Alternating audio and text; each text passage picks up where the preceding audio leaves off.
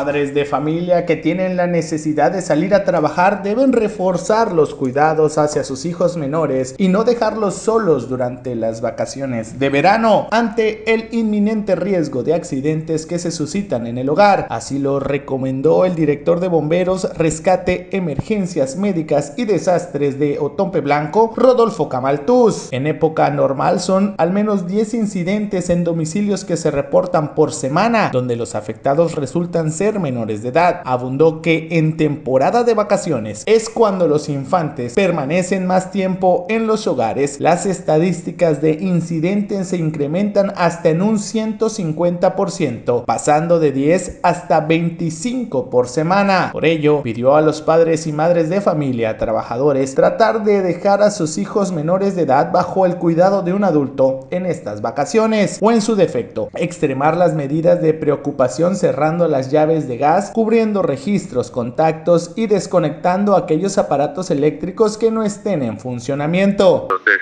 ahí sí hacemos la recomendación que sean un poco más este, cuidadosos con ese tema y sí dejarlos con, con un adulto es lo más recomendable, evitar este como hemos mencionado en reiteradas ocasiones, dejar eh, el tanque de gas abierto, eh, dejar algún aparato conectado que no requiera algún suministro de energía de manera constante como un refrigerador, ¿no?